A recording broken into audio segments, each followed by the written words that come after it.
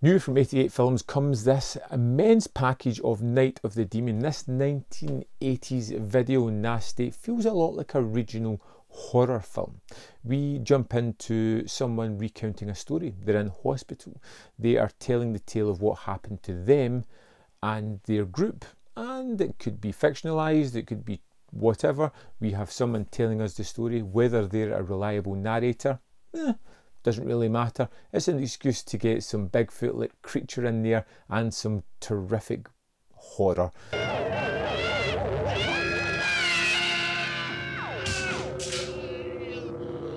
We follow uh, our professor and his group of students who are travelling out to this small town, a small town where there has been lots of sightings of a Bigfoot creature.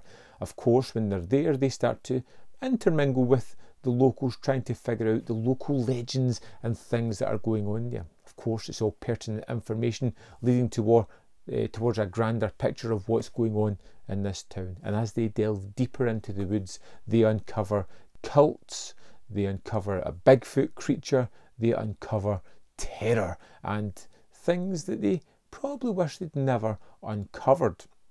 And what I like about this movie is the amount of blood and guts that it goes for it is there all the time. And it feels and it probably was inserted after the fact.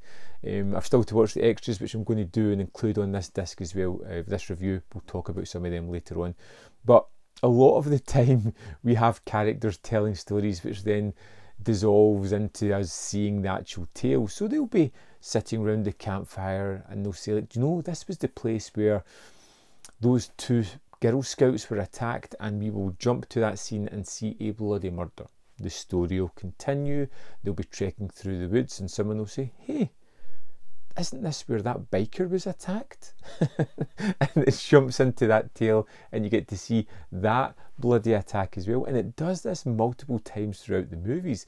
Uh, throughout the movie, so there's constant bloody sequences all the way throughout this uh, thing, and there's there's a sense of uh, real urgency to the pace because it could be without these sequences it could be more languid as they're just walking through the woods talking but by inserting these into it it gives you a sense of dread a sense of unrelenting terror in the form of this bigfoot monster and we get uh, to see that there is a lot of blood and guts to be had within this film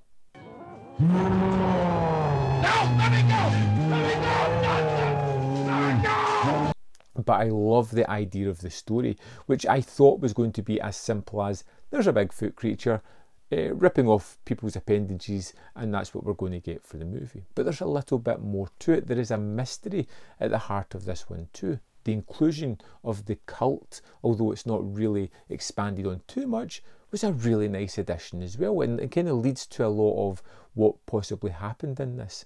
Um, we get to meet a character later on that's kind of solemn, that's had a really sad life, that has something to do with a lot of the terror uh, and murders that's going on. That really allows um, a kind of backstory to eke into the story to make it more grandiose, to make it more thought out uh, and more exciting than I thought.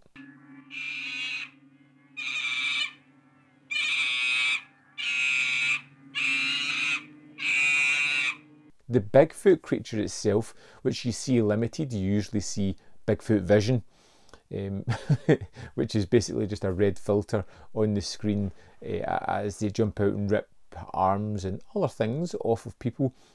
It's kind of fun, but the actual creature design and its look is pretty good. You get to see more and more of it as the movie goes on until the finale in a cabin where we get the full on creature effect as he is just beating the crap out of people.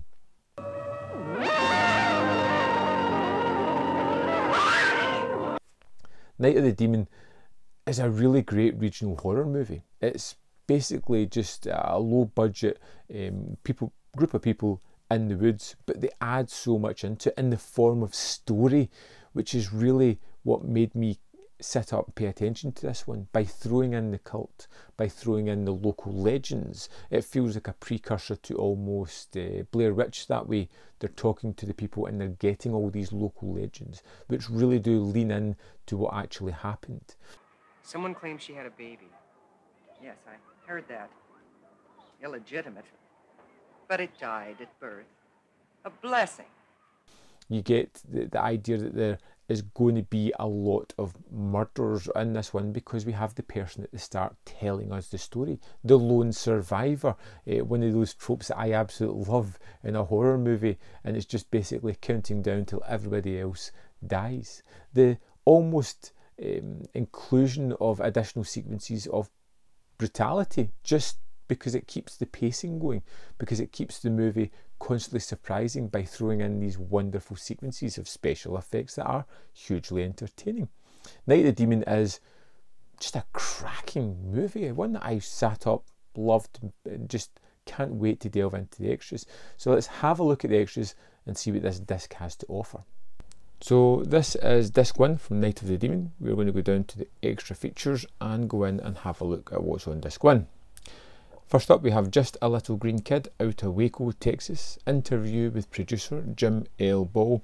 And this is a 22 minute talking head where he talks about forming his first record company, um, how he began his career getting into financing uh, films. It's interesting. And a fun little anecdote, almost a, a, a snapshot of his life. Next up, we have the Demon Made Me Do It interview with director James C. Wasson, who seems to be sponsored by Budweiser for some reason, uh, talking about his entire career, how he got the job of doing this, how, how he was under such wacky constraints as he was only allowed to do one take of every scene. It explains a lot. Next up, we have Eye of the Demon, an interview with cinematographer John Quick. I kind of like this one. It's all talking about how he began from photography, moving up to uh, cinematography, becoming fascinated with it, becoming uh, a subscriber of Sight and Sound, uh, and kind of growing from there. It's quite a, a sort of fascinating uh, talking head. Next up, Fraternity of Horror, which is the previously unreleased 1964 feature, Jim L. Ball, and shot by John Quick. This is 67 minutes in length. It's really poor quality and it's a little bit of an oddball, um, but it's really nice to have it included on this disc. And then we get the trailer at a little over a minute. And that's it for disc one. Let's dive in to the second disc. Okay, so let's go into disc two here and the extra features. First up, we have Cryptid Currency, 18 minutes in length, uh, Transgression, Aggression, and Bigfoot Cinema a video essay by David Coleman, author of the Bigfoot filmography, and it's all about Bigfoot cinema. Uh, talking about movies with similar plots and how it kind of uh, blew up in the late 70s. Lots of information, uh, well put together, and an interesting video essay. Next up, we have Tales from the Cryptid, interview with Stephen R. Bissette, co author of Cryptid Cinema. It's 37 minutes in length talking about a specific genre called cryptozoology, um, which is a term I hadn't really heard before. Um, how it started in sort of literary works, moving up to Bigfoot movies, um, and uh, again, very uh, informative 37 minutes. Next up, we've got Deconstructing Patty, an interview with William Munns, author of When Roger Met Patty. Now, this is all about the, the, the very familiar Bigfoot video that everybody has seen. It's 23 minutes in length. It delves into costumes and making various costumes, trying to debunk um, why that video can be portrayed as a man in a costume. it's an interesting argument. I'm not sure if I 100% buy it. Next up, we have Mondo Bigfoot interview with Lyle Blackburn, author of Boggy Creek cassette book and this is 20, just under 27 minutes and it basically it draws parallels between actual myths and legends and entertainment in the form of videos and stories. Someone obviously loves and is fascinated by this subgenre and articulates it particularly well and gives lots of information and very uh, many recommendations of other films that I now have to check out. Next up, we have Ban the Sadist videos, which at 53 minutes in length is a kind of older um, documentary style all about video nasty culture in the UK, and we have banned the sadist videos part two, kind of follow up at 44 minutes, all about video nasties. And then last, we have My Nasty Memories, an interview with Ban the Sadist Videos director David Gregory, 28 minutes in length, talking again. Um, so looking back at the video nasties, his memory of Britain in the 80s when this was all kicking off. Again, it's another fun addition. As well as that, you get a poster within this book and you get a booklet which is even more information. It's a stacked release and a must own. So there we have it Night of the Demon. Highly recommended. I thought it was terrific. One that I would suggest picking up uh, because of the amount of extras with it. It's just terrific.